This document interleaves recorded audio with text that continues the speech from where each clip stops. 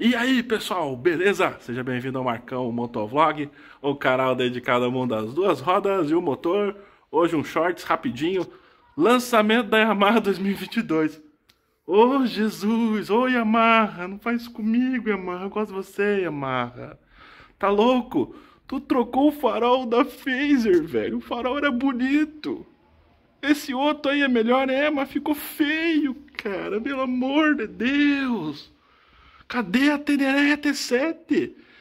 Vem com esse papo de que é emissão de combuluente, ajusta isso aí, tá louco? Vocês são japonês, cara, pelo amor de Deus, arrume isso aí, cara. Ou vocês não têm capacidade para isso? Cadê a Tracer 700? Cadê a MT-10? Cadê a MT-125? Cadê a família XSR? Pô, Yamaha, me ajuda, pelo amor de Deus.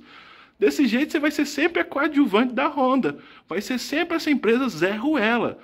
E para os caras que gostam, além do meu querido CEO da Royal que é um Zé Ruela, fica aqui mais um CEO Zé Ruela, que é esse da Yamaha Brasil. Pô, mano, revolução? Revolução só se for lá na casa dos teus parentes, porque colocar um farol, tá louco? Nem os piscas vocês trocaram, meu Deus do céu. Enfim, tá lançada a polêmica. Yamaha Brasil, vocês são uma vergonha. E vocês, YouTube passa pano, fica pondo foto, mostrando silicone, ou colocando gol aquele cabelo tudo que o cara não lava, o cara coloca uma touca porque não lava o cabelo. Vocês são tudo em Zé Ruela, tá louco? Pelo amor de Deus. Yamaha, acredito em você.